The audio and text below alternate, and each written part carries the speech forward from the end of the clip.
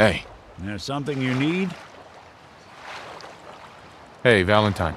Well, don't keep me in suspense. Your thoughts? Got myself real lucky you pulled me out of that vault. Real lucky.